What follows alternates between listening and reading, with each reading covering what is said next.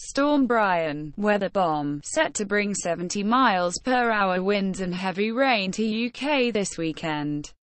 S Storm Brian is expected to batter Britain's coast just days after Storm Ophelia wreaked destruction. Heavy rain and gusts of 50 miles per hour are expected across southern England and the west of Wales on Saturday and winds could reach 70 miles per hour in exposed areas.